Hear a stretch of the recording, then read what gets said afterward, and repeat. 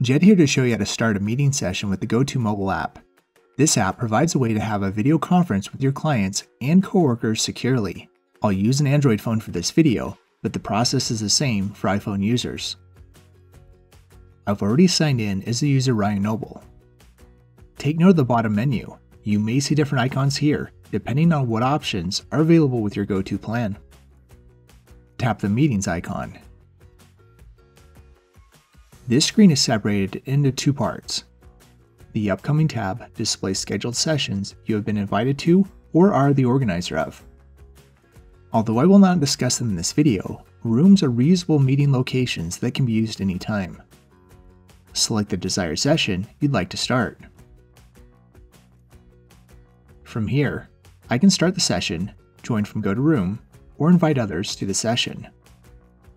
I will select Start, but please note that you will need to be the meeting organizer or co-organizer to start the meeting. From here, I can change my display name if needed and decide if I want to enable my microphone and camera. Tap this button once you are ready to start. You've successfully started a session. Tap this button when you want to end the session. That's all there is to start a meeting session with the GoTo mobile app.